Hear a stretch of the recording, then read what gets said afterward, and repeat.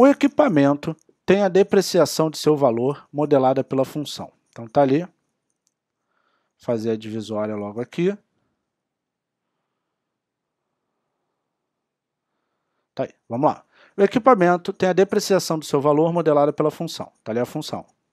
Na qual V representa o valor do equipamento em reais. Então, V sublinha valor do equipamento e X o tempo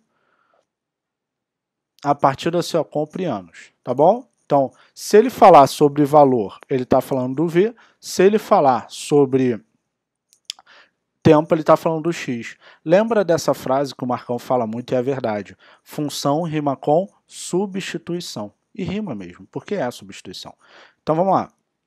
Pode-se afirmar que houve uma desvalorização de 50% no valor do equipamento em relação ao valor no momento da compra após o período de uso em anos de. Aí você, ai meu Deus, vamos lá, vem comigo. Vai ficar V de x, a função é essa, igual a 8.000 vezes 2 elevado a menos 0,1x. Beleza? Aí ele quer saber o valor, né? Pode-se afirmar que houve uma desvalorização de 50%, é valor. Aqui ele está falando de valor, então é V. E ele pede o período de uso em anos, é X. Beleza? Ele quer o X. Galera, vou te dar um grande bizu.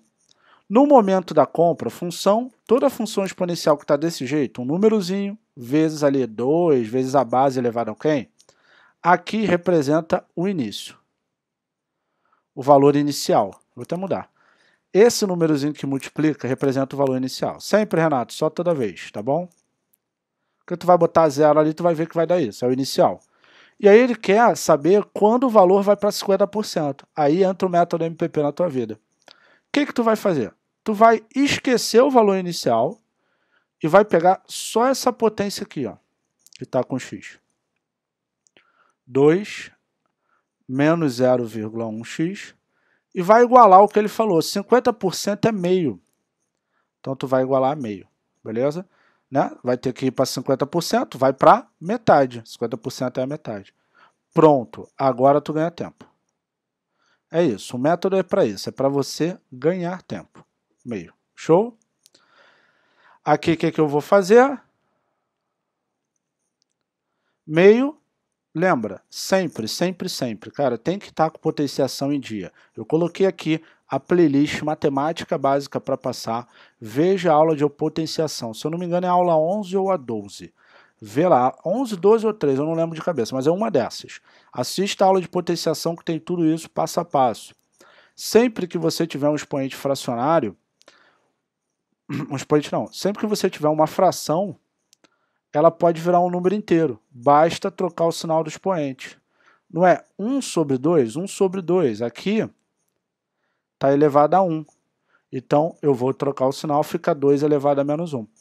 E por que eu fiz isso? Porque o intuito de uma exponencial, de uma função exponencial, de uma equação exponencial, é ficar com bases iguais. Agora eu posso cancelar os, as bases, né? bases iguais, expoentes iguais. Eu fico com menos 0,1x igual a menos 1. Daí x é menos 1 sobre menos 0,1. Menos com menos é mais, a conta é 1 sobre 0,1, correto? O número depois da vírgula é só botar um zero. Então qual é o valor do x aí, galera? 10. Então quanto tempo ele vai levar, galera? 10 anos. Marco V da vitória, letra C.